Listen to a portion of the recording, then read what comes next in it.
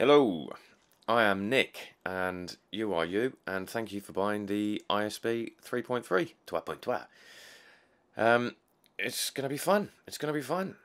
I realise that the tutorial videos and the demo videos are from pretty much version 1, excuse me, and that's not ideal. They need to change, they need to be updated, so I'm doing them again. I'm going to do a bunch more, and I'm just going to cover everything that should should already be covered. Firstly, um, how to set it up, and then after that, I'm going to just go through each node group um, as closely as possible to let you know what every pretty much every slider does. So for this one, we're just going to start off with how to set it up.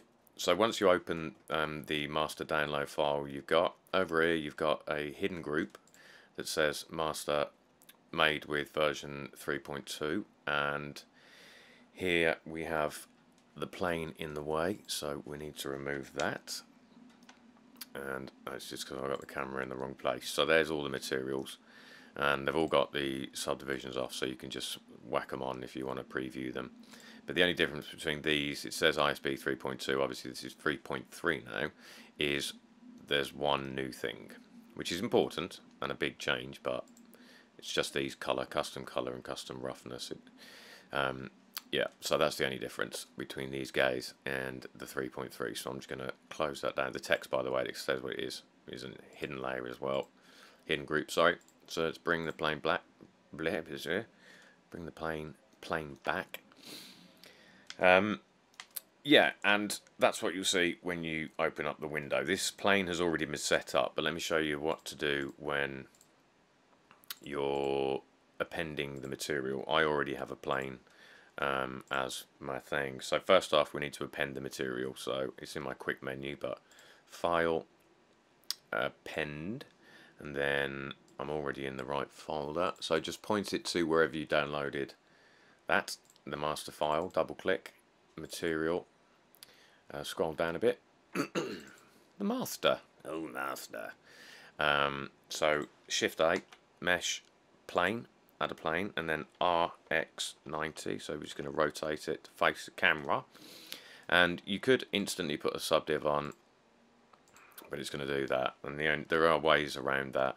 You can because it's got no geometry between here and here these two vertexes so it's just going to round it. Unless you say no and you just you tell it basically I don't want those corners. Um, but what I would normally do is first of all before I attach a subdiv is write uh, one two three and then you got enough subdivisions so that when you do turn it on it's only rounding them and again, if you do want to get rid of that, Control R, I should have said that, sorry, loop cut, and then you can do that just to remove it if it bothers you that much. Now, when we apply the material, it's going to look bad, man. It's going to look real bad. It looks awful.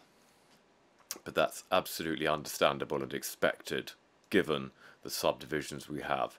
So, first off, we just need to give it some whack.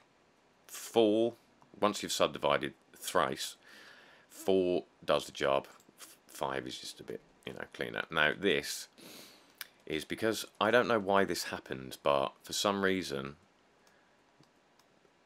uh, no, I do know why this happens. It's for a very, very important reason. I don't know why this happens. Not great. This is because the master file you open, the plane is already set up, it's unwrapped in the right way, and it's had all its transforms applied. So because we've rotated on the x-axis, it's no longer as it was when it entered the scene. So we need to apply those transforms. And to do that, Control A, and then click that one there. All transforms, and then, as if by magic, bush. Everything back to normal. There you go. Alright. So that's what you need to do. It's very important to apply your transforms when you are happy with your shape. Now, not all walls are in a straight line. You're going to want a corner. I wouldn't recommend putting it on a cube because there are a lot of sides you're not going to see and you only ever see two sides of a wall.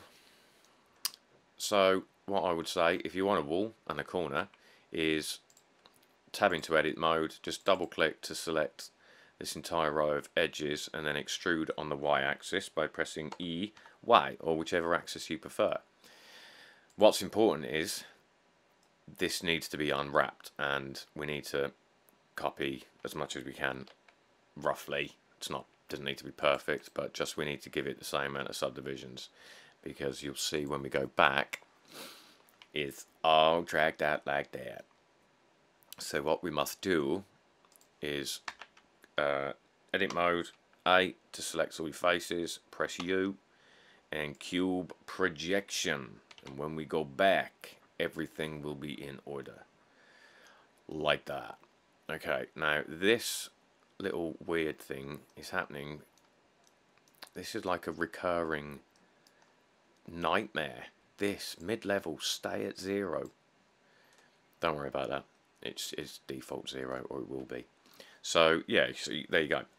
The important steps are to apply your transforms, give it some geometry and also um, cube projection. Uh, if you're using a cylinder then obviously might be an idea to go with cylinder projection.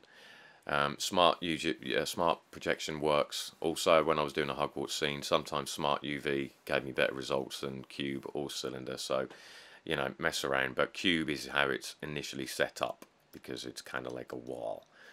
Um, and yeah, that's. I think that's everything you need to know about setting it up. Cube projection, apply your transforms, give it subdivs. Bosh! Okay, it's you're ready to play around with it now and that's going to be the next one which is we're going to look at the main shape node group.